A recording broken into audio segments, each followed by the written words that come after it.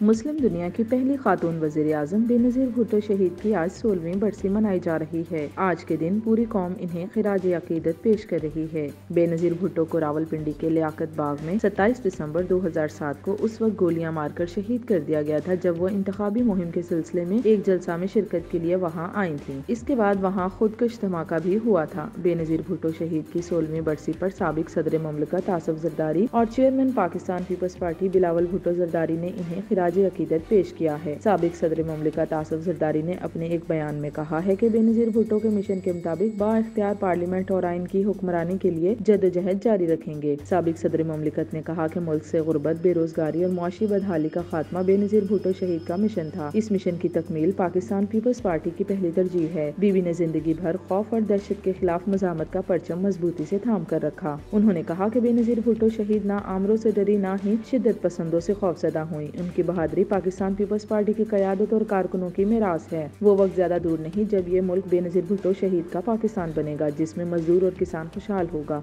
बेनजीर भुट्टो शहीद की बरसी पर बिलावल भुट्टो ने अपने पैगाम में कहा कि बेनजीर भुट्टो न सिर्फ़ एक तारीखी शख्सियत, बल्कि एक ज़िंदा तहरीक और मशल राह है। बीबी शहीद की हुबुलवतनी पायदार जदोजहद और साबित कदम क्यादत के नकूश कौम के दिलो दिमाग में हमेशा अनमट रहेंगे। उन्होंने कहा की मेरी वालदा मुल्क को एक हकीकी फलाही रियासत बनाने के अजीम मकसद के लिए हमेशा पुरजम रही। बेनजीर भुट्टो, पंजाब सिंध खैबर पख्तूनख्वा बलूचिस्तान, कश्मीर और गिलगल बल्तिस्तान के लिए हम आहंगी की जंजीर थी। इनका बहिमाना कत्ल एक मजमूम साजिश थी। बिलावल भुट्टो ने कहा कि बेनजीर भुट्टो के कत्ल के ज़रिए पाकिस्तान की तरक्की को सबताज किया गया। शहीद मोहतरमा के कत्ल के ज़रिए रोशन ख्याल, एतदाल पसंदी और जमहूरी मुआरे के क्याम की हमत अमली को निशाना बनाया गया।